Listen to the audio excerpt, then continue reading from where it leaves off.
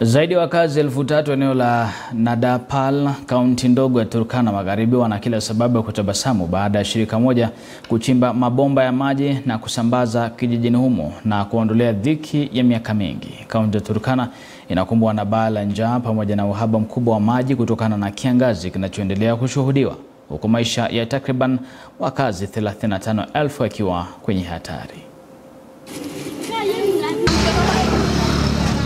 Tupige picha hii watu kama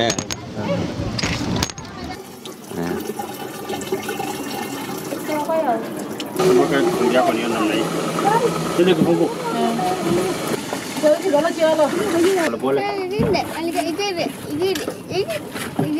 Haya maji kuja hapa.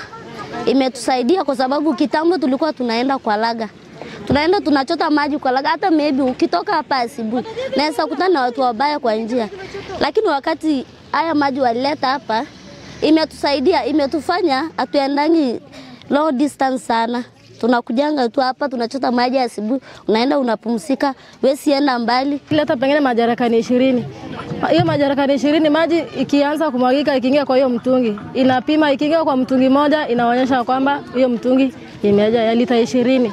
Lakini kama bado hiyo maji ijamwagika, unatoa unaweka jarakani nyingine juu hiyo maji ikitoka, hiyo jarakani ikijaa inasimama, ukifinya inaonyesha kwamba hiyo jarakani imejaa. The uniqueness with this project is that we are trying to promote accountability and reducing non-revenue water through minimized wastage by ensuring that every drop matters and every revenue that is collected from each water kiosk is accounted for and benefits uh, the operations and maintenance work of the kiosk.